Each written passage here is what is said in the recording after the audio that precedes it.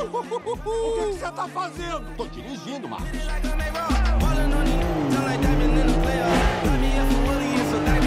Vai devagar.